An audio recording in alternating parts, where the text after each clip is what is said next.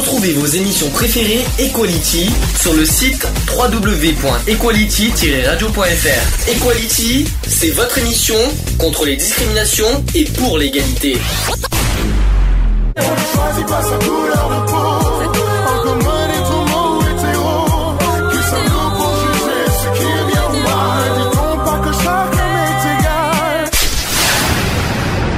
L'union fait la force. On va commencer donc euh, sur euh, l'abus de confiance. Euh, c'est donc notre sujet du jour demandé par un de nos auditeurs. Je ne sais pas s'il nous écoute, mais en tout cas, je lui fais un petit coucou.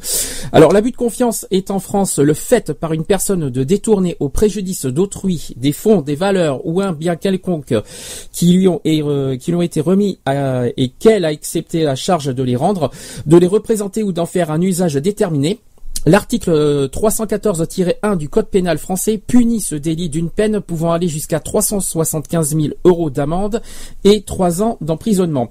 Ce délit est constitué par trois éléments constitutifs, un détournement, un préjudice et une intention et suppose au préalable la réunion de deux conditions.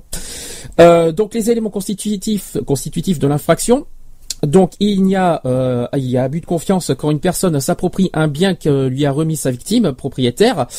Euh, ce bien peut être une somme d'argent, une marchandise, un effet de commerce comme par exemple un document bancaire ou commercial tel qu'un chèque ou traite, etc.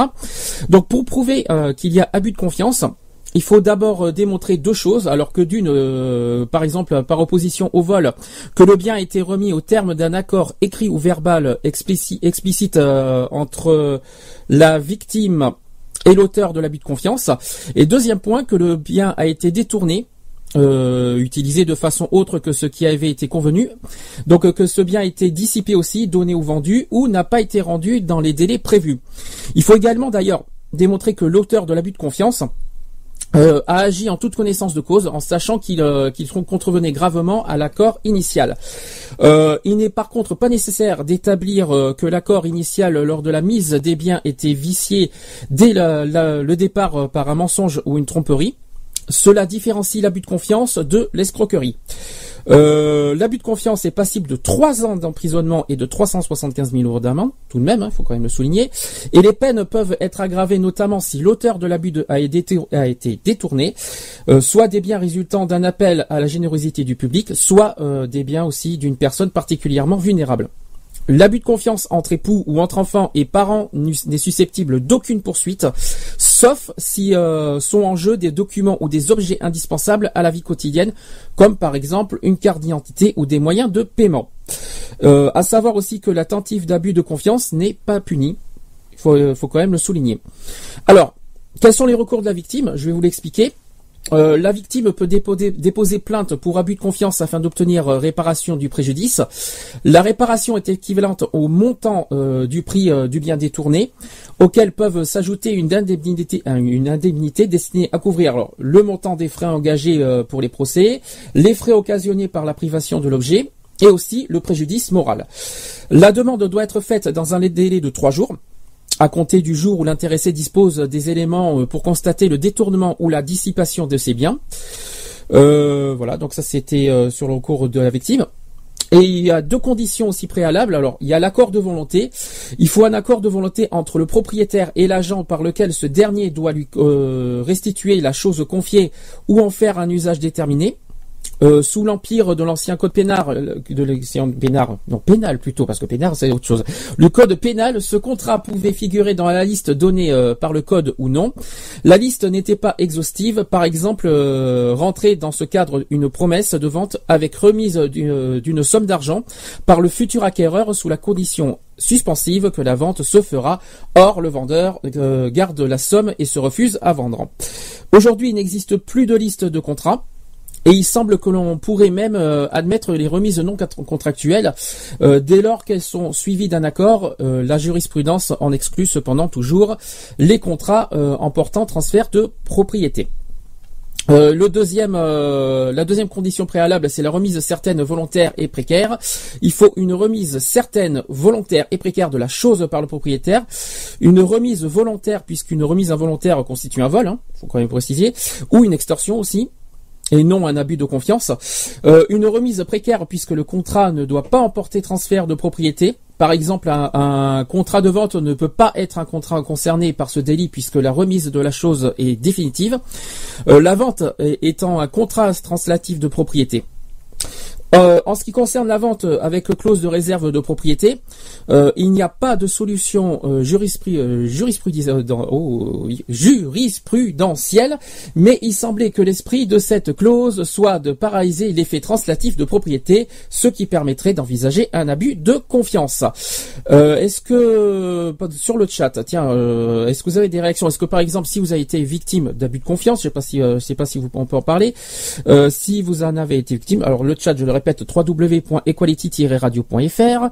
S'il y en a qui veulent en parler, euh, qui ont été, euh, qui sont concernés par ce sujet, vous pouvez m'en parler. Et il y a aussi le téléphone qui est là, juste à côté, euh, au 05 35 004 024.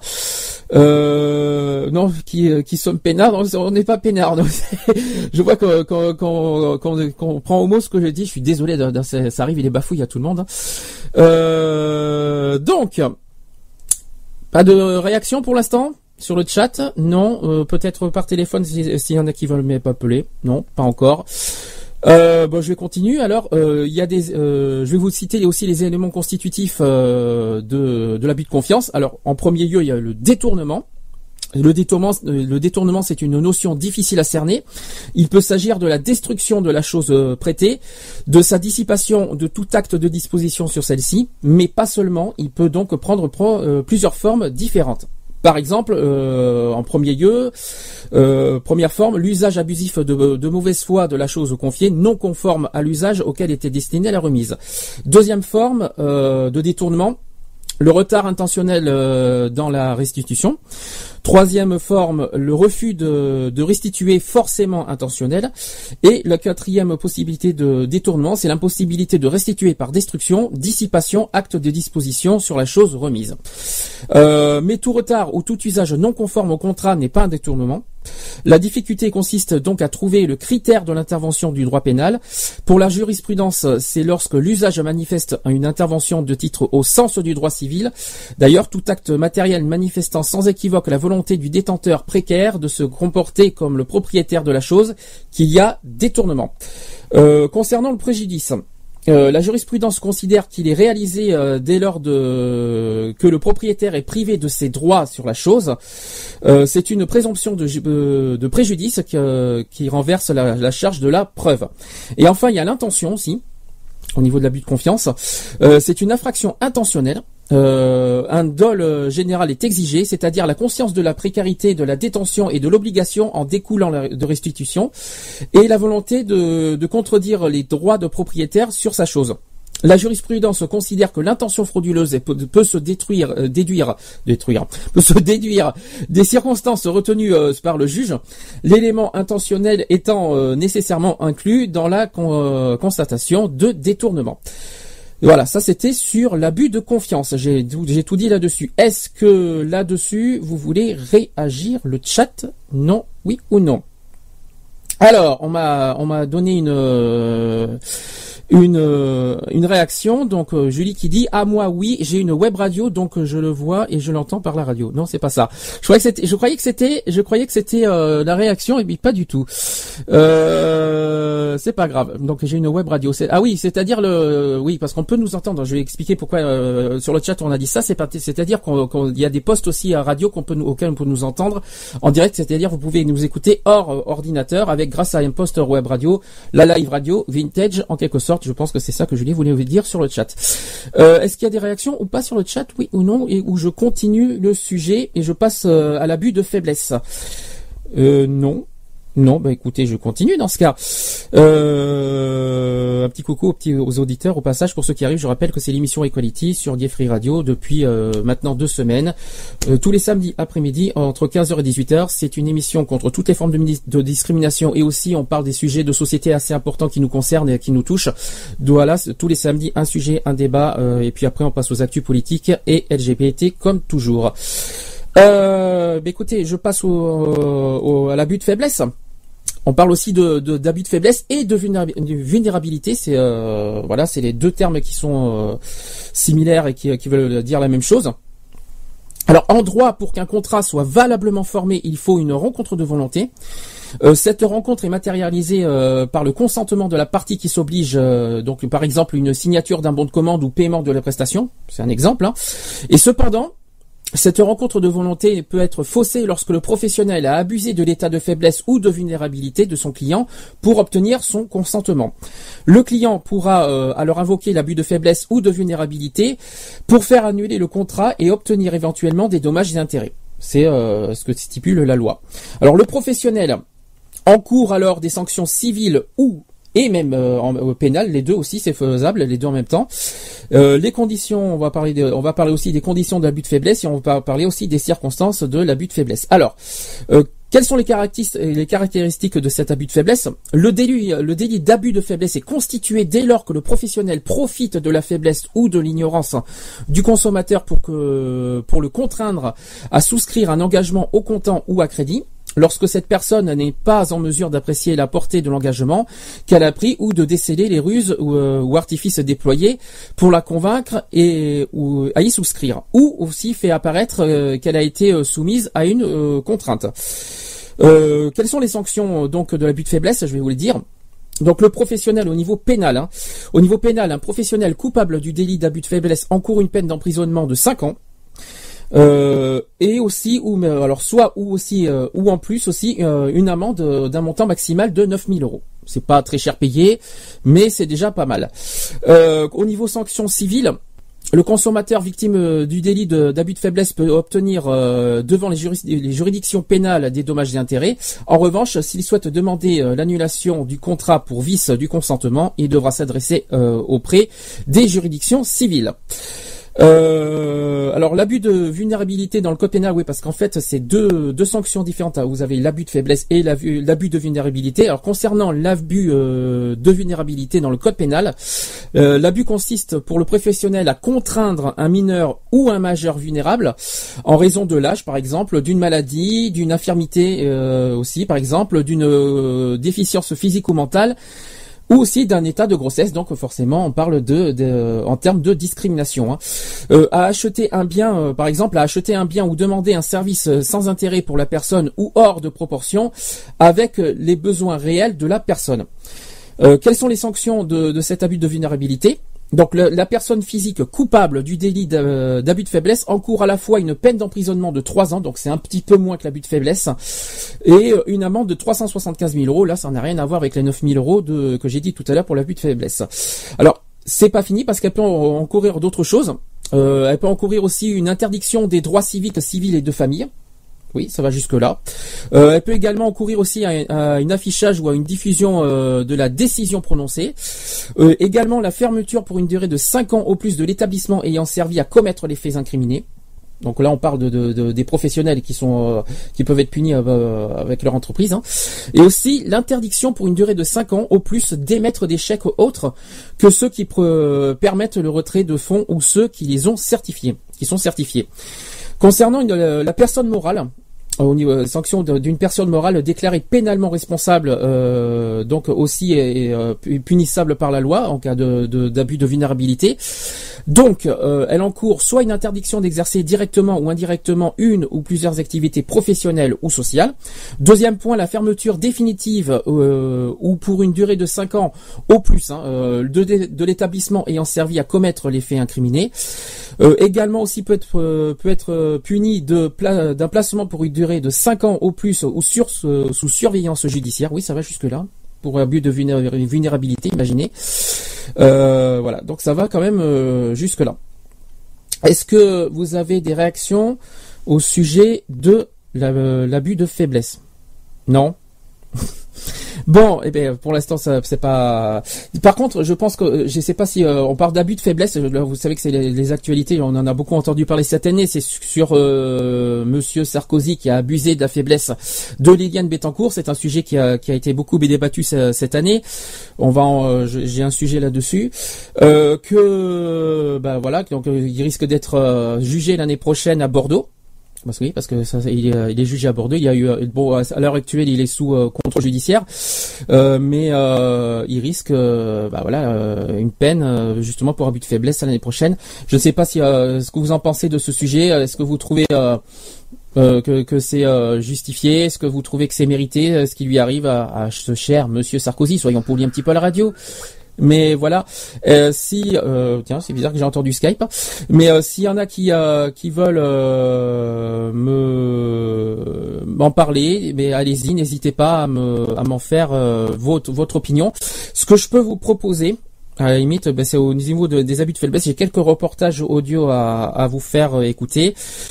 Si vous avez quelques réactions, ben, justement, tant qu'on est sur le, sujet de, ce cher Monsieur Sarkozy, allons-y gaiement. On va en parler. Euh, on va, je vais en faire un petit sujet si j'arrive à le trouver parce que c'est quand même pas facile à trouver tout ça d'un coup.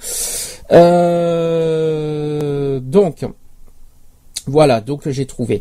Je vais d'abord vous faire écouter sur l'abus de faiblesse, parce qu'il y a, y Doctissimo qui, en a parlé sur l'abus de faiblesse. Il y, a, eu un sujet sur l'abus de faiblesse sur le net par les seniors, parce que beaucoup, il faut pas oublier que c'est beaucoup euh, les personnes âgées qui sont beaucoup victimes d'abus de faiblesse parce que c'est les plus fragiles et les plus euh, vulnérables.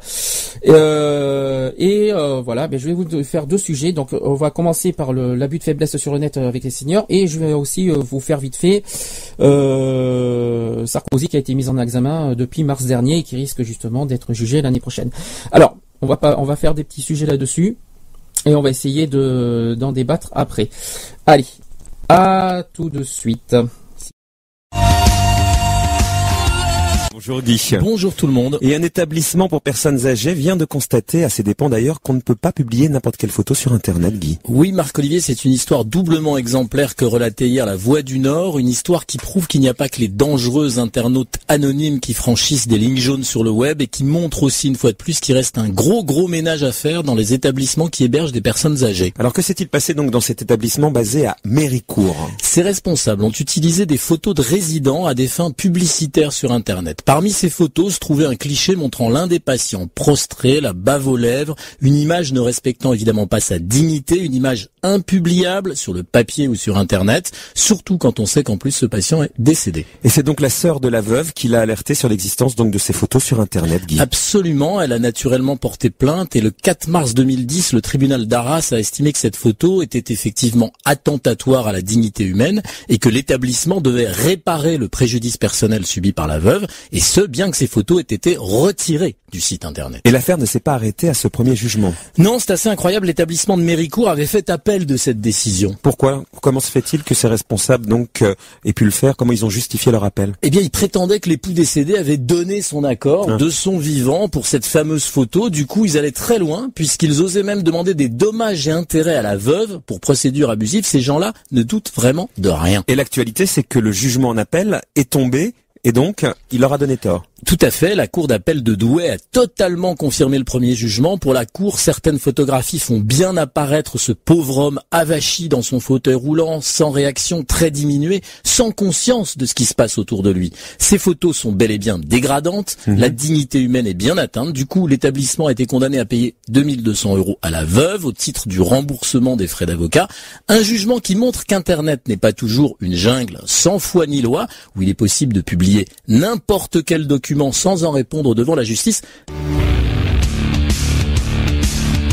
Bonjour Guy. Bonjour tout le monde. Et un établissement pour personnes âgées vient de constater, à ses dépens d'ailleurs, qu'on ne peut pas publier n'importe quelle photo. C'est l'article 223.15.2 du Code pénal qui définit l'abus de faiblesse. Un abus frauduleux de l'état d'ignorance ou de la situation de faiblesse, soit d'un mineur, soit d'une personne dont la vulnérabilité est apparente ou connue de son auteur, soit d'une personne en état de suggestion psychologique ou physique, résultant de pressions graves ou réitérées, qui lui sont gravement préjudiciables.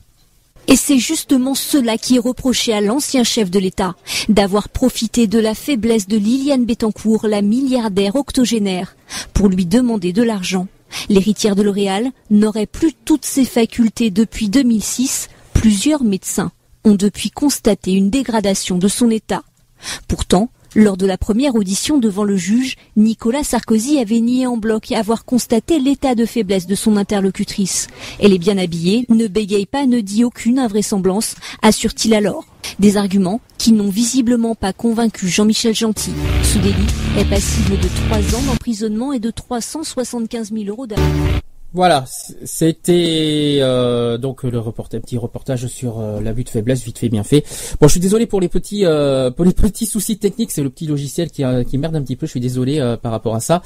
non, non, mais c'est c'est le logiciel, je rassure. Hein, c'est un logiciel que j'ai pour pour diffuser, que ce soit les musiques, les reportages et tout ça. Ça s'appelle Sam Broadcaster. Alors imaginez, imaginez la pagaille que ça fait un petit peu quand tout s'enchaîne. Donc c'est pour ça que vous entendez des musiques, des machins, des trucs en même temps qui ne sont pas prévus. En fait, c'est parce que tout s'enchaîne en même temps. Bref, euh, revenons sur le sujet de de de, de, de comment s'appelle de, de l'abus de faiblesse.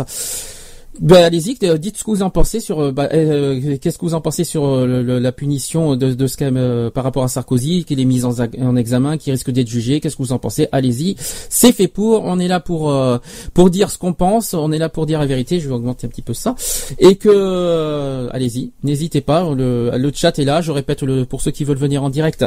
Euh, www.equality-radio.fr le numéro de téléphone 05 35 004 024 qui est là, il est disponible, il est à côté, euh, on, vous entend en direct. Euh, je rappelle que c'est un numéro non surtaxé. Pour ceux qui ont des téléphones illimités, vous pouvez appeler autant que vous le souhaitez et autant de temps que vous le voulez.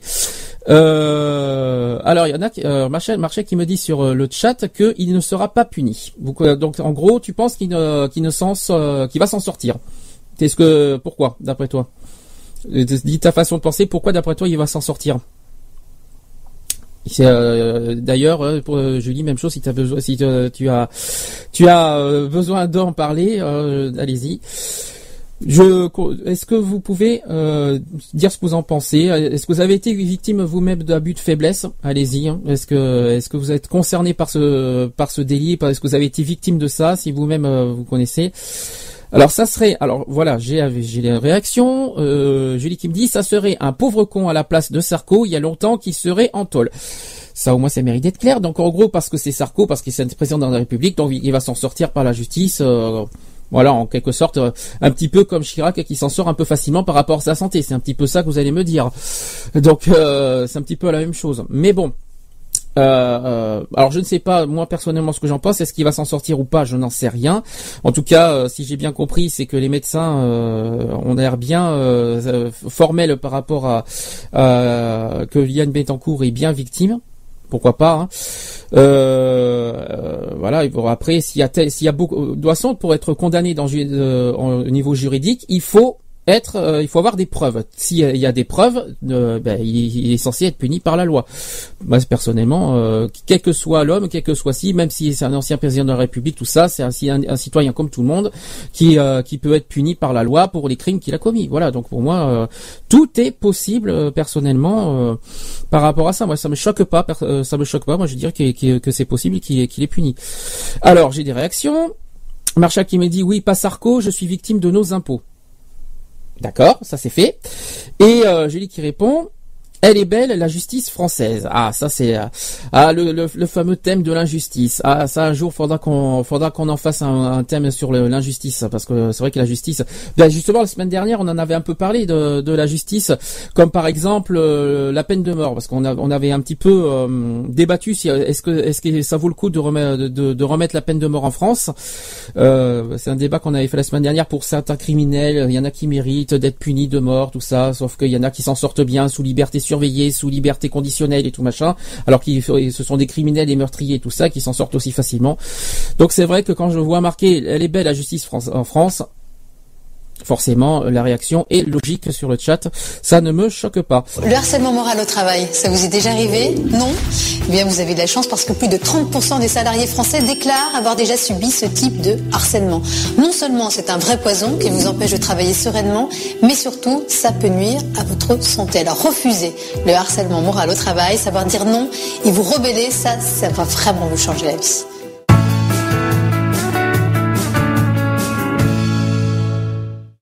Le Code du travail définit très simplement le harcèlement moral au travail. Hein. Ce sont des agissements répétés qui ont pour objet ou pour effet une dégradation des conditions de travail. Cette dégradation est alors susceptible de porter atteinte aux droits du salarié et à sa dignité, d'altérer sa santé physique ou mentale et de compromettre son avenir professionnel. Ce harcèlement peut leur affecter votre métabolisme, en particulier vos défenses immunitaires. Du coup, eh bien, vous risquez de tomber plus facilement malade. Vous pouvez déjà en parler à un collègue ou à un supérieur, à un délégué du personnel, pour faire connaître, si nécessaire, la situation, votre mal-être et essayer de trouver des options, hein, une médiation, voire même un dépôt de plainte. Le problème, c'est comment prouver ce harcèlement moral. Alors, premièrement, la victime peut tenir une sorte de journal si possible des messages ou des emails agressifs ou encore des témoignages de collègues acceptant de montrer leur soutien. Deuxièmement, on peut y inclure les certificats médicaux car bien souvent, le harcèlement moral est synonyme de dépression nerveuse, de stress et peut conduire à plusieurs arrêts maladie. Le but étant bien sûr de monter une sorte de dossier le plus complet possible pour pouvoir éventuellement porter plainte. Est-ce que vous connaissez cette maxime Les postes éminents rendent les hommes grands encore plus grands et les hommes petits encore plus petits. Alors faites mentir Jean de la Bruyère et dites stop au harcèlement moral au travail. Vous n'êtes peut-être pas le boss, mais ce n'est pas une raison pour perdre votre dignité et vous laisser marcher dessus. Moi, je crois en vous et si vous croyez en mes conseils, alors n'hésitez pas à vous abonner. À bientôt, bye bye.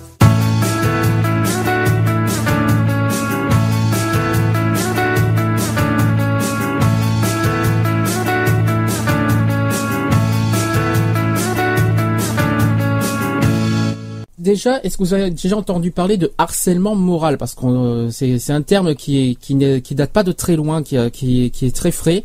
Est-ce que ça vous parle le mot harcèlement moral? C'est une question que je pose sur le chat. C'est un, un terme qui on emploie beaucoup au travail, par exemple.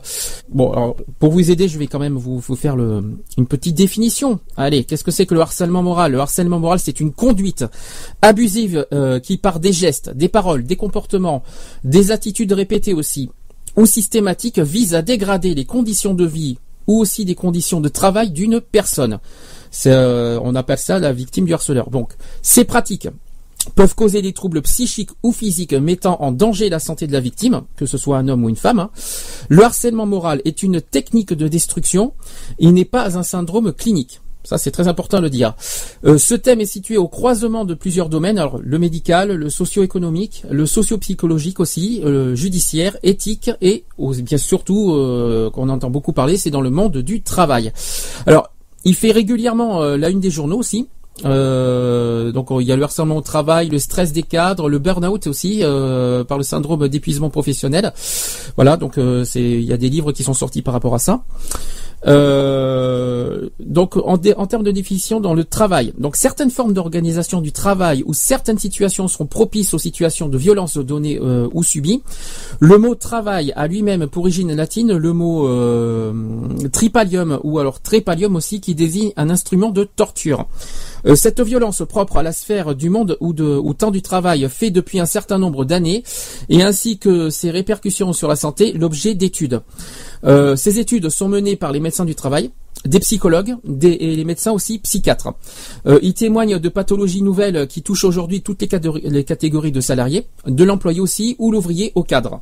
Euh, il s'agissait d'autrefois d'un abus de force, c'était l'autre terme à l'époque, euh, une force généralement brutale utilisée pour soumettre quelqu'un par la contrainte physique. Euh, on est euh, peu à peu passé de la notion de contrainte physique à celle de contrainte morale, aussi critique sur la notion de harcèlement moral en milieu professionnel. Alors, euh, en France, il y a un livre qui est sorti qui s'appelle Le harcèlement, moral, euh, ce qui est sorti en 1988 par Marie-France Irigoyen. Justement, dans quelques instants, je vais vous proposer euh, un petit reportage qui, avec justement cette personne qui évoque ce terme-là et aussi de l'abus de faiblesse. Alors, elle a cette personne qui s'appelle donc Marie-France Irigoyen a contribué à faire mieux connaître ce concept. Et en 2012, il s'était déjà vendu à plus de 500 000 exemplaires. Imaginez, hein, 500 euh, 000 exemplaires euh, pour un, pour un terme qui est pas très connu, euh, c'est quand même énorme. Et à la suite de sa médiatisation, le concept de harcèlement moral a rencontré diverses critiques. certains, comme le sociologue par exemple Jean-Pierre Le Goff, ou encore certains militants syndicaux, reprochent à la notion de harcèlement moral de psychologiser des phénomènes plus vastes de maltraitance managériale ou le stress généré par l'intensification du travail. Ainsi, parler de harcèlement euh, et se concentrer sur la relation entre une victime et un pervers, hein, il faut employer les choses clairement, un pervers, qui serait une manière de négliger de, le contexte d'apparition du harcèlement et les processus économiques et organisationnels sous-jacents. Euh, une autre critique aussi, issue du milieu de la gestation euh, des ressources humaines, concerne plus spécifiquement euh, les mesures politiques destinées à lutter contre le harcèlement moral. Euh, plusieurs professionnels expriment ainsi euh, dans un dossier consacré au sujet de euh, par la revue Liaison sociale la pression que la possibilité de la- de l'accusation de harcèlement moral fait peser sur leurs épaules. La loi s'immiscerait dans la gestion des entreprises et empêcherait toute réaction face aux employés incompétents tout en échouant à protéger les vraies victimes. Est-ce que ça vous parle un petit peu mieux? Euh, oui, bon, bon euh, en gros, on me dit sur le chat, en clair, une bonne branlée. Bon, ça c'est fait. Ça c'est, ça c'est, je sais pas, je sais pas si ça a à voir avec le sujet qu'on parle ou est-ce que c'est euh, à voir avec autre chose. Je suis en train de lire. euh, Alors, Marcha qui me dit sur le chat, le harcèlement moral se fait dans le temps. Le plus difficile, le harcèlement moral, on va en parler euh, juste après, c'est que c'est difficile à prouver. Et ça, il y aura quelques petits conseils euh, à donner euh, sur comment prouver le harcèlement moral, parce que c'est, vous savez que c'est pas évident, surtout que sur les, les harcèlements d'un employé, d'un d'un employé vers son salarié, je sais pas si on n'est pas d'un employé, d'un employeur vers son salarié, vers son employé, surtout les femmes, hein, en quelque sorte. C'est pas facile à prouver un harcèlement moral, mais euh, il suffit d'avoir un petit peu de de jugeote et euh, de et euh, pour le prouver, par exemple, des enregistreurs, oui, je- sais que c'est pas très légal en France et que c'est pas très reconnu, mais euh, vaut mieux ça que rien du tout. Euh, Il y a les vidéosurveillance, mais ça aussi, hein, il faut les, faut arriver à les trouver. Euh, Il y a, y a quoi d'autre? Des témoins. Est-ce que les témoins sont capables de de- d'en parler sous, sous risque de perdre leur leur emploi? Ça, c'est une autre question. Je, je parle bien dans le monde dans le monde du travail. Je parle pas de harcèlement moral dans le en général. Euh, bref. Voilà, donc c'est, euh, je dis ce que je pense. D'ailleurs, tiens, ce qu'on va faire, tiens, en parlant de ça, je vais euh, vous passer un reportage. euh, Bonjour Marie-France Rigoyenne. Bonjour. C'est un sujet tabou euh, de parler euh, d'abus de faiblesse aujourd'hui en France? Euh, c'est pas un sujet tabou, mais c'est un sujet nouveau parce que euh, des arnaques, des manipulations euh, à différentes personnes, euh, ça existe, mais on n'aime pas trop en parler parce qu'on n'est pas très fier quand on s'est fait euh, avoir entre guillemets. C'est c'est le, le sentiment de culpabilité de la victime? Bah, la, la victime a le sentiment que euh, si elle s'est fait piéger, c'est parce qu'elle était faible. Or, c'est pas la réalité. Si elle s'est fait piéger, c'est que l'autre parce était que meilleur, ouais. l'autre était meilleur. Oui.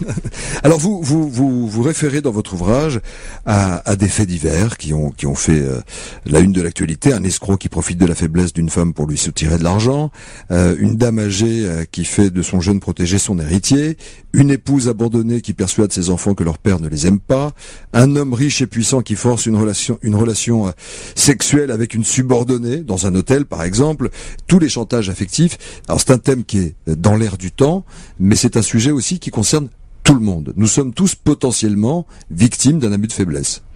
Oui, alors il faut bien faire la distinction entre ce qui est la loi, euh, ce qui est sanctionnable et ce qui est quand même un dérapage, on va dire, euh, où c'est moralement euh, euh, réprouvable, mais qui n'est pas euh, qui n'est pas fa- facilement sanctionnable. Que dit la loi précisément? Alors la loi, C'est assez flou, non? Non, non, la loi est très précise. Ce qui est difficile, c'est de trouver la limite en, de justement de ce qui est euh, de ce qui est possible de prouver. Comment on le prouve? Alors la loi dit d'abord que sont considérées comme des personnes vulnérables les personnes âgées ou handicapées, les enfants ou les personnes en état de suggestion psychologique. Qu'est-ce que ça veut dire, suggestion psychologique? En gros, la suggestion psychologique, c'est la manipulation mentale. C'est-à-dire amener quelqu'un à euh, accepter quelque chose qu'il n'aurait pas accepté de lui-même par euh, de la séduction, par de du baratin, j'allais dire, euh, des belles paroles, des promesses. euh, et- comment, ça, comment ça se prouve ça? On peut pas aller voir euh, un policier euh, au poste et dire je viens de me faire manipuler quand quand il n'y a pas de preuves concrètes, quand on s'est pas encore fait voler son argent, mais on sait que ça peut ça peut être la suite d'une rencontre. Alors la difficulté, c'est que il y a des cas euh, où le, on va dire la ficelle était trop grosse et où on voit que la personne a été euh, mise en, en en état de faiblesse justement. Euh, par exemple, en cas d'urgence, on demande à quelqu'un, on promet à quelqu'un, je vais vous aider, euh, montez dans ma voiture et, et euh, je, euh, faites-moi un chèque et puis je vais vous Voilà. sortir de cette situation difficile. Alors là, c'est plus facile à, à prouver parce qu'il y a état d'urgence. Par contre, sou- très souvent, la personne, c'est- euh, la personne est mise sous emprise, c'est-à-dire une manipulation qui s'installe dans le temps et elle finit par accepter quelque chose parce que au fond, on lui met la pression et toutes ses connexions, euh, tout son esprit critique, toutes ses connexions sont saturées et donc elle, elle oublie la li- euh, de, de se protéger et elle finit par accepter ce qu'on lui impose au fond de, de, de, de faire. Alors vous vous distinguez bien les différentes étapes, Marie-France et Irigoyenne, de la manipulation et de l'abus de faiblesse. Euh, vous en aviez déjà euh, fait référence dans votre ouvrage sur les euh, pervers narcissiques. Il y a d'abord une phase de séduction, une phase d'emprise, d'assujettissement. À quel moment on, on- on passe cette, frontière, ce point de non-retour? À quel moment on réalise qu'on est totalement sous l'emprise de quelqu'un? Alors malheureusement, on le, on le réalise trop tard. Ah. Euh, si, surtout à notre époque où on a plus, on va vite et on n'a plus tellement d'espace de discussion pour pouvoir euh, avoir un temps de réflexion, euh, pour pouvoir être euh, au fond euh, pleinement critique. Alors généralement on le, on le réalise trop tard quand on a le sentiment qu'on est déjà arnaqué. Et quand on en parle, à ce moment-là, on n'y peut plus plus grand chose. En même temps, l'actualité est pleine d'exemples de ce type. On a vu ce, ce psychothérapeute euh, euh, qui euh, manipulait euh, ses patients avec des souvenirs induits. Euh, 18 mois de prison euh, avec sursis et 100 000 euros d'amende ont été requis contre contre cette personne. Il y a plein de cas comme ça autour de vous? Ils viennent maintenant vous parler, les gens, depuis que vous avez soulevé ce problème Alors, les faux souvenirs induits, on a vu beaucoup ça aux États-Unis et pas tellement en France, c'est assez nouveau. Mais des manipulations par des pseudo euh, psychothérapeutes, oui. C'est un peu pour ça qu'on a essayé de euh, vérifier les, les formations et les diplômes des thérapeutes. Alors, quand on est face à ce genre de, de situation, c'est gravissime parce que, au fond, c'est un fonctionnement pervers, c'est-à-dire euh, on prend euh, quelqu'un qu'on transforme en une marionnette et on lui fait croire euh, ce qu'on a envie de lui faire croire, mais en même temps, on coupe du lien, puisque dans ce cas, euh, euh, on isole la personne, mais on casse le lien avec sa famille, puisqu'on fait croire qu'elle a été victime euh, d'abus sexuels ou de, ou de choses euh, ou de violences euh, d'une façon ou d'une autre. Donc, en fait, les, conséquences sont particulièrement graves. Une personne comme Mohamed Merah a-t-elle été victime de manipulation et d'abus de faiblesse? Je crois pas. Je crois que là, on a euh, quelqu'un qui, est à la- qui avait à la fois une pathologie de caractère et qui s'est laissé entraîner, euh, qui s'est raccroché à ce qu'il a pu euh, dans ce qui est dans l'air du temps, on va dire quand même. Et euh, c'est la conjonction de tout ça qui l'a amené à ces dérives. Comment vous expliquez que des adultes intelligents et cultivés se laissent euh, prendre au piège? On voit bien que ce sont pas nécessairement des gens perdus qui sont manipulés, mais des cadres, euh, des gens qui sont dans le pouvoir, des, gens qui décident. Alors plus on est euh, éduqué, on va dire, euh, intelligent, et plus on se croit à l'abri euh, justement euh, des manipulations. Moi, je me laisserai pas prendre. Mais en fait, euh, c'est cette illusion de liberté qui fait que on, risque plus, encore plus, d'être arnaqué, d'être manipulé. Dans la Grèce antique, on pensait que la clé de la séduction ne résidait pas uniquement dans le séducteur, mais dans celui qui reçoit, dans le récepteur, et que finalement le séducteur, il ne fait que combler le vide de celui qui en demande et qui parfois ne le sait pas encore. Absolument. C'est-à-dire que le, le- la, la qualité, je dirais, des manipulateurs, c'est de repérer cette faille, cette attente euh, d'une euh, personne ciblée pour pouvoir euh, justement lui apporter ce ce qu'elle espère, la faire rêver, l'exciter un peu, lui apporter un peu de, de rêve, et à partir de là, eh bien, euh, on peut en faire ce qu'on veut. Mais ce n'est pas la société qui crée précisément les manipulateurs, qui sont là pour vendre du rêve à tous les niveaux, que ce soit en politique, à travers les médias, dans l'économie. Hein, ce genre de personnage n'est-il pas le fruit de notre société? Alors très clairement, euh, à notre époque, euh, il y a une banalisation de ces faits de manipulation, puisque au fond, euh, actuellement, pour réussir, il faut être un peu mégalo, il faut être très séducteur, il faut un peu arranger la réalité, ne serait-ce que sur son CV. Il faut aussi euh, euh, pouvoir euh, se déresponsabiliser. tout ça fait que, au fond, les petites tricheries, les arrangements avec la réalité, c'est tellement banal que tout le monde le fait, ou, au moins presque, presque tout le monde. En tous les cas, on nous incite à le faire. Et je pense qu'il y a un vrai problème pour les jeunes qui voient ça comme un modèle, un archétype, oui. Et c'est un modèle qui, qui peuvent être tentés de, de suivre. Qui peut dire qu'il n'a jamais été manipulé? Marie-France Irigoyenne je crois que ça peut nous arriver à tous, d'où euh, l'importance de la vigilance et de réintroduire de l'esprit critique. Merci beaucoup d'avoir été notre invité ce matin sur Europe 1. Je rappelle que votre ouvrage Abus de faiblesse et autres manipulations est publié chez Jean-Claude Lattès. Merci.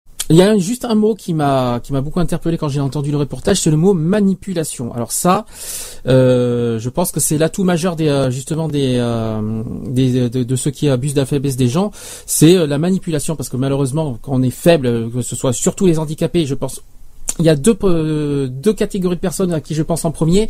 C'est en premier les seniors, c'est-à-dire les personnes âgées, et euh, les handicapés. Voilà, malheureusement, c'est les plus fragiles mentalement parlant, et c'est plus malheureusement les plus euh, faciles justement à manipuler, à faire croire des choses dans tout, dans toutes les dans tous les sens du terme. Alors justement, parlons par exemple exemple sur les seniors, l'euro, c'est tellement bête comme comme exemple, mais voilà, les seniors comment dire confondent encore l'euro le franc, et ben voilà, ben il y en a qui jouent là-dessus euh, par rapport au chéquier, par rapport, je parle des vendeurs qui sont un petit peu euh, douteux et qui profitent de ça. Euh, quand ils font la vente à domicile, qui disent voilà, je vous vends un, un, truc 59 euros alors qu'en fait ça vaut 20 euros, c'est un, truc bidon que je vous parle. Voilà, donc là il faut faire très très attention. bah voilà que par rapport à ça, euh, bah, je sais pas, je sais pas comment on peut les protéger par rapport à ça.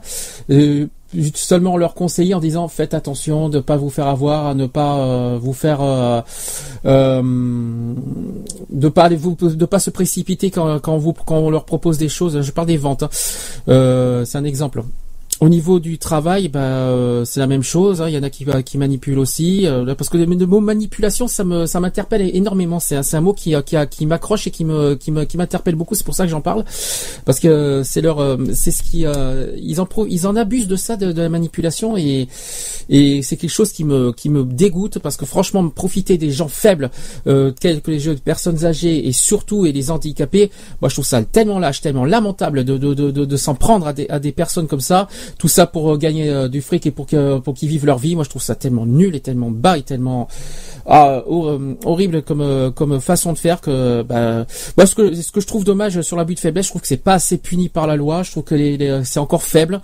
Je pense que quand j'ai quand j'ai vu trois ans d'emprisonnement, oui, bon, bah, ça mérite pire. Il y en a qui s'en sortent beaucoup avec du sursis, mais bon, je trouve ça 9000 euros d'amende, bof quoi pas terrible. Alors après c'est sur la, après ça va jusqu'à l'abus de vulnérabilité, mais c'est pareil.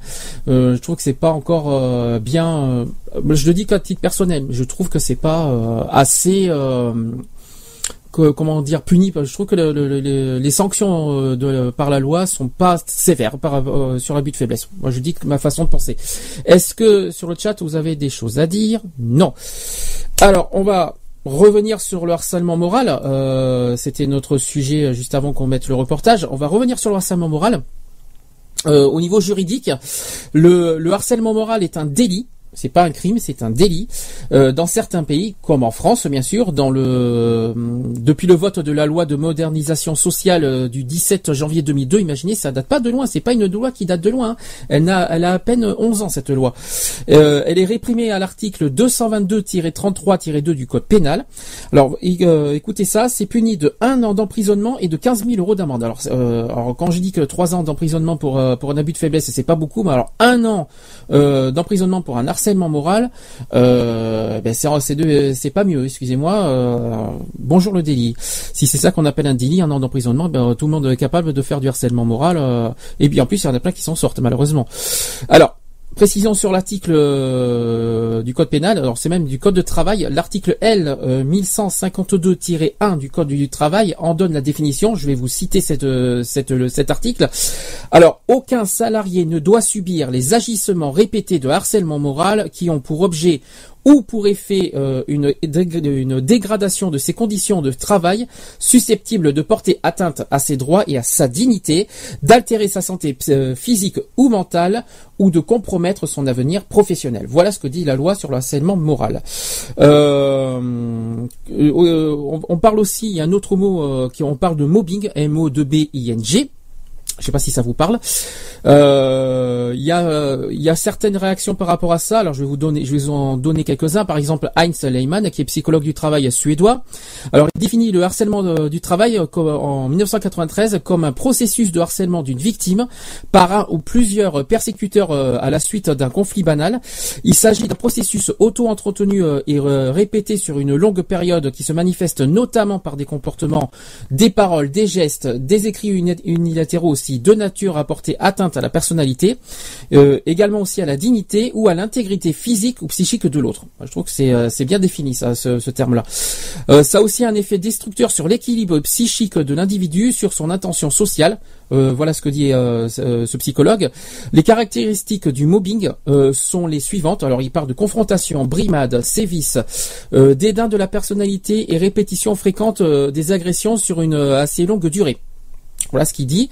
Euh, il rajoute aussi que, euh, que ça aboutit presque toujours à une exclusion euh, du salarié victime et aussi à de graves troubles psychiques ou physiques. Je trouve que c'est une bonne définition euh, de ce psychologue.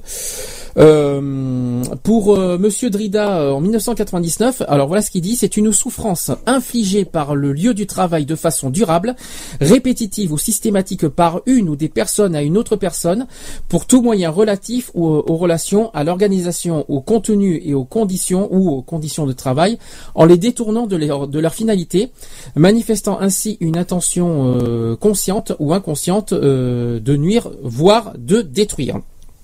Et enfin, je vous donne un dernier exemple euh, qui il s'appelle Christophe Desjours. Alors, ça, ça date de 2001. Il dit que c'est la contrainte physique ex- exercée sur la, euh, sur la victime. Les causes des souffrances constatées euh, sont la domination. On parle de manipulation, mais aussi la domination euh, et l'injustice. euh, et elle crée des pathologies consécutives, euh, consécutives, non seulement à un harcèlement ou à une persécution, mais à un contexte de solitude résultant d'une stratégie d'isolement par une technique de management visant la désagrégation de la solidarité et du collectif de travail. Voilà. Alors, euh, en parlant, euh, alors, on parle aussi de violence du travail et on distingue deux types de violence de travail. Il y a une violence, par exemple, externe. Euh, le préjudice est causé par une personne extérieure à l'entreprise. Cette violence peut, con- peut concerner tous les individus et pas uniquement certaines catégories de personnes, ça peut concerner tout le monde, qui occupent des métiers dans les entreprises de services notamment, et qui ont un rôle social comme la banque, le commerce, le transport de fonds, la poste, la poste, ah bah oui, euh, euh, la police, la sécurité sociale, les transports urbains, euh, et, et notamment que et aussi les agressions engendrent euh, des traumatismes psychiques ou physiques. Et deuxième euh, type de violence, les, les violences internes. Une petite pensée à, au- à tout ce qui s'est passé à France Télécom d'ailleurs, euh, il y a quelque temps. Alors, euh, cette violence euh, interne exercée par une personne ou un groupe de personnes de, l'entreprise, euh, sous le terme de violence interne, où on, rassemblera, on rassemblera aussi bien le mobbing que le harcèlement moral et sexuel. Le harcèlement peut par exemple être utilisé pour pousser des salariés à la démission. C'est une méthode qui a été décrite en détail par par Gernot Schiesler, qui est directeur du personnel de Télécom Austria. Au hasard, hein, juste par hasard. hein. Et on n'est plus ici euh, dans un traumatisme violent et unique, survenant bru- brutalement, mais face à des agressions répétées euh, et durables qui ont euh, une finalité. Alors on distingue le harcèlement institutionnel qui participe d'une stratégie de gestion de l'ensemble du personnel. Et la violence euh, ne relève pas d'un problème épisodique ou individuel, mais d'un problème structurel qui relève d'une stratégie. Et on distingue aussi le harcèlement professionnel, c'est pas du tout la même chose, qui est organisé à l'encontre d'un ou plusieurs salariés précisément désignés, destinés à contourner euh, les procédures légales de licenciement. Euh, troisième point, il y a aussi le harcèlement individuel. Donc vous voyez, il y a trois, euh, il y a- trois distinctions de harcèlement. Euh, il y a aussi le, donc le harcèlement individuel qui est pratiqué euh, dans un but gratuit, de destruction d'autrui ou, de valorisation de son propre pouvoir. Voilà. Donc euh, j'espère que vous avez réussi à distinguer les différents types de harcèlement. Alors. Comment euh, comment, euh, d'après vous, comment, comment procèdent les harceleurs ben justement Est-ce que vous, est-ce que vous avez quelques idées je, de quelques, si vous avez quelques idées de comment procède un harceleur, ben je vais vous en donner les moyens comme ça, euh, comme ça vous y ferez attention euh, ben de pas de pas tomber dans le panneau. Je vais vous en donner quelques quelques méthodes. Alors, je vais vous donner quelques techniques. Euh, première technique euh, d'un harceleur, par exemple, empêcher de s'exprimer moralement, normalement. Voilà, donc il fait tout pour pas qu'on s'exprime normalement. De- une deuxième méthode, euh, critiquer justement le travail de, de l'autre. Ok? Troisième méthode, c'est proférer des menaces. Tellement facile et tellement lâche. Hein. Euh, voilà, il profère des menaces, que ce soit verbales, écrites ou téléphoniques, euh, des médisances, des calomnies aussi. Par exemple, euh, il ou est, est fou. euh, c'est un, exemple. Par exemple, cette personne est folle. euh, voilà, c'était un exemple de calomnie. Et aussi des attaques contre contre ses convictions. D'accord? Trois, quatrième méthode, ignorer sa présence, refuser le contact. L'ignorance, apparemment, on dit que c'est l'ignorance est le meilleur des mépris, mais attention, euh, l'ignorance est aussi une méthode pour harceler quelqu'un. Euh, cinquième méthode, ça c'est pas joli à entendre, c'est l'isolement. Donc on peut isoler, euh, il suffit d'isoler euh, la victime. C'est triste à dire, mais malheureusement ça fait partie. Sixième point, c'est interdire aux collègues de lui adresser la parole. Interdit en quoi J'en sais rien, mais en tout cas, euh, c'est une méthode. Euh, on est toujours dans le monde du travail, je précise. hein. Euh, autre point aussi, c'est la déconsidérer auprès des collègues. Voilà.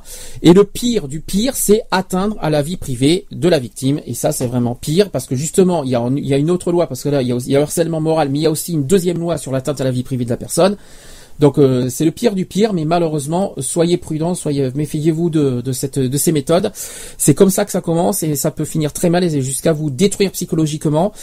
Faites très attention, mais si vous êtes euh, à vous d'être malin et de pas tomber dans le panneau, justement, de pas tomber dans le dans le dans les méthodes des harceleurs, à vous de retourner ça contre eux justement euh, pour les pour les piéger. Alors je sais pas si comment comment on peut piéger en retour un harceleur. Eh ben, euh, il faut être plus malin que le harceleur déjà. Il faut être euh, déjà. euh, après, euh, des témoins, des, euh, des méthodes aussi euh, comme les dictaphones. Je sais que les dictaphones c'est pas reconnu par la loi, mais mais ça peut aider hein, cas, en cas où justement pour prouver que, que, que cette personne vous harcèle. C'est une méthode, euh, que ce soit sexuelle, que ce soit morale. hein.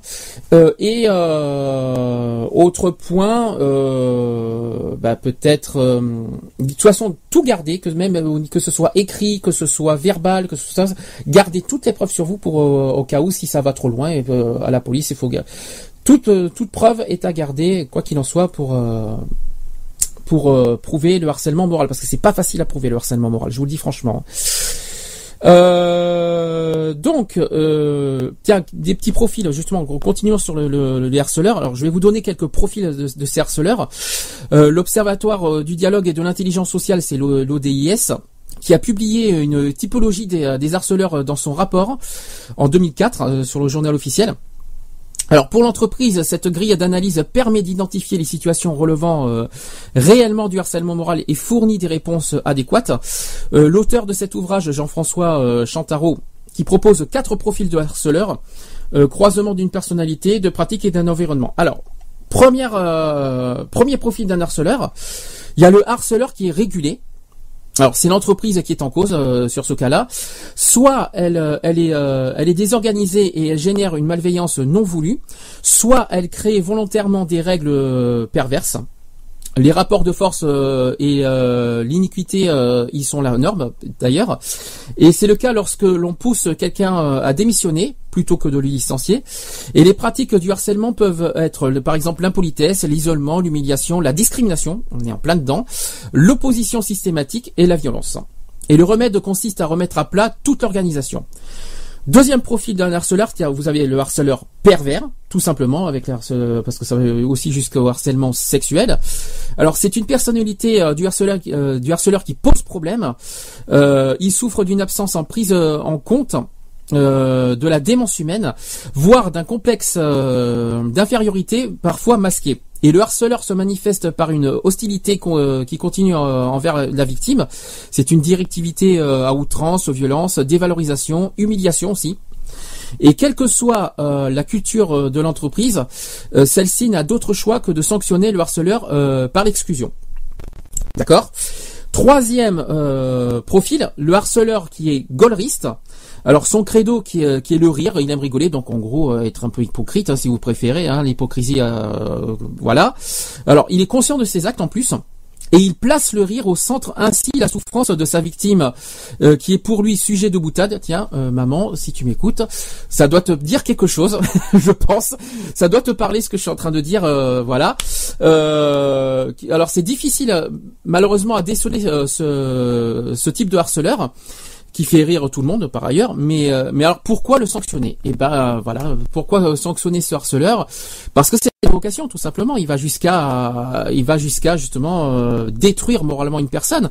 C'est il en il va en rire. Il va, bon, il y en a qui en rigolent euh, comme ça pour se moquer, mais il y en a qui en rigolent pour pousser les les victimes à bout au niveau moral, au niveau nerf, au niveau tout ce que vous voulez, jusqu'à détruire psychologiquement. Et c'est je pense que c'est de ça qu'on est en train de parler. Quatrième profil, euh, vous avez le, harceleur qui est carriériste. Alors sa carrière qui est le centre de toutes ses préoccupations. Alors il accorde une importance démesurée aux, attributs du pouvoir et veut constamment prouver sa capacité, sa capacité à faire respecter son autorité. Et pour cela, il peut dépasser les bonnes euh, avec l'un de ses collaborateurs. Et par la par la rétention voulue d'informations, par exemple, il exclura les collaborateurs euh, qui pourraient le gêner. Et son chef, voire son, euh, son entreprise ou la direction des ressources humaines, doit alors doit alors le recadrer. Autre euh, type de harceleur, vous avez le harceleur qui est sous-dimensionné. Alors, euh, je pense pas que ça a à voir avec le physique. Hein. Alors, il est sous-dimensionné malgré ses valeurs euh, humaines positives. Il est sans malveillance et mais ne comprend pas les rapports humains. Donc, c'est quelque chose que je connais bien, ça aussi. J'en parle un en particulier qui habite à Sisteron. Ça, ça, ça, te concerne et c'est pour toi. Donc, il est sous-dimensionné sur le plan managérial.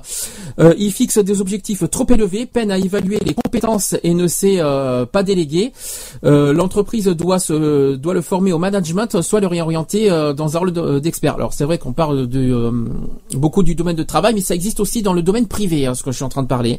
Ça existe hein, parce que là, c'est beaucoup dans le domaine du travail, le harcèlement moral, mais dites-vous que malheureusement, que tout ce que je viens de vous dire, ça existe aussi sur le plan privé, que ce soit amical, familial, vos meilleurs amis, même sentimental, tout, tout, euh, ce que je viens de vous dire, c'est dans tous les domaines. Vous pouvez être victime de harcèlement moral dans tous les domaines et pas uniquement dans le domaine du travail. Tout ce que je vous ai dit, ça existe malheureusement dans tous les domaines. Euh, et euh, un psychologue clinicien qui s'appelle Bruno Lefebvre, il a pu distinguer trois types de harceleurs en dehors du, pervers narcissique. celui qui est accro au travail, par exemple, euh, et qui du coup en demande trop aux autres. Tiens, ça me rappelle ça aussi qu'il y a beaucoup, beaucoup de choses ça. Euh, le manager absent qui laisse euh, dégénérer et ne soutient pas ses équipes. ça c'est le deuxième point. Et le troisième point, c'est le manager télécommandé qui rejette sur d'autres la pression qu'il subit. Ça aussi, ça me parle beaucoup. Donc euh, je vais en finir euh, sur ce terme de, harcèlement moral, sur les définitions juridiques, euh, vite fait, bien fait, sur le droit français. Euh, c'est l'article 26 de la charte sociale européenne euh, qui est traduite dans le droit français euh, par décret numéro 2000, je vais pas vous dire tout ça, qui précise que le droit à la dignité au travail, que les parties s'engagent en consultation avec les organisations d'employeurs et de travail en un à promouvoir la sensibilisation, l'information, la prévention en matière de harcèlement sexuel sur le lieu du travail ou en relation avec le travail et aussi à prendre toutes mesures appropriées pour protéger les travailleurs contre de tels comportements. Deuxième point, à promouvoir la sensibilisation, l'information, la prévention en matière d'actes condamnables ou explicitement euh, hostiles et offensifs dirigés de façon répétée contre tout salarié sur le lieu du travail ou en relation avec le travail et à prendre toutes mesures appropriées pour protéger les travailleurs comme de tels comportements. Euh, sur le droit français, l'interprétation de la définition du harcèlement moral est parfois délicate. Malheureusement, c'est pas très très compris, mais euh, mais elle existe quand même. Euh, elle peut donner lieu à des dérives aux, effets contre-productifs s'opposant à, à l'apport euh, que représente la loi. Euh, donc, ce harcèlement au travail en France, hein, je parle, est présenté sous l'angle d'un harcèlement moral. Euh, il est défini en particulier euh, sur l'article, donc je l'ai dit tout à l'heure, le L 1152-1 du Code du travail, créé par la loi de modernisation sociale de 2002, promulguée par le gouvernement Jospin à l'époque. Alors qui pose, je le redis et je le répète, je vais vous le redire ce, ce truc, c'est aucun salarié ne doit subir les agissements répétés d'un harcèlement moral qui ont pour objet ou pour effet une dégradation de ses conditions de travail susceptibles de porter atteinte à ses droits et à sa dignité, d'altérer sa santé physique ou mentale ou de compromettre son avenir professionnel. Euh, donc ça, c'est ce que dit la loi. Le harcèlement, euh, par ailleurs, est traité euh, à la première partie euh, du Code du travail. Euh, il aborde les harcèlements moraux sexuels aussi et les actions en justice euh, en les euh, et les dispositions pénales. Ce harcèlement est considéré par le Code pénal, dont l'art- parce que c'est aussi un code dans le Code pénal, dans l'article 222-33-2, qui punit jusqu'à deux ans d'emprisonnement et de 30 000 euros d'amende le fait de harceler autrui par des agissements répétés ayant pour objet ou pour effet une dégradation des conditions de travail susceptibles de porter atteinte à ses droits et à sa dignité, d'altérer sa santé physique ou mentale ou de compromettre son avenir professionnel. Alors malheureusement, c'est ça que je regrette beaucoup, c'est que c'est une loi qui existe, mais uniquement dans le monde du travail. Et malheureusement, c'est un, il y a beaucoup de monde qui qui qui, euh, fonctionne comme ça dans le domaine privé, euh, dans le domaine privé, que ce soit, comme je l'ai dit tout à l'heure, que ce soit dans en amitié, en famille, euh, en sentiment, tout ça. Et malheureusement, euh, cette loi n'est pas, ne concerne pas le domaine privé, ça concerne que le domaine du travail. Mais je pense qu'on peut, euh, si on si on se bat pour que que ce le harcèlement moral soit aussi puni par la loi dans le domaine euh, privé, ça serait vraiment une bonne chose parce que franchement, euh, euh, y a- je pense qu'il y en a qui se rendent pas compte qu'on qu'on nous bousille la vie, qu'on nous bousille la santé euh, dans le domaine privé, euh, ce que j'appelle privé, per- personnel privé, quoi. C'est pas dans le domaine public, c'est-à-dire à l'extérieur. Quoique dans le domaine public, c'est pas mieux. hein. Mais euh, en privé, il y en a qui qui qui, qui poussent à l'isolement, il y en a qui poussent à, à détruire les gens que dans le domaine vraiment privé, que ce soit au téléphone, que ce soit par message, que ce soit par écrit, tout ce que vous voulez. Malheureusement, euh, c'est pas puni par la loi. Mais euh, je souhaite que que, ça- que ça évolue, que, ce- que cette loi évolue euh, au-delà du monde du travail, que ça soit puni dans tous les domaines. J'espère que ça que, que ça va aller plus loin euh, dans ce domaine. Retrouvez nos vidéos et nos podcasts sur www.equality-podcast.fr.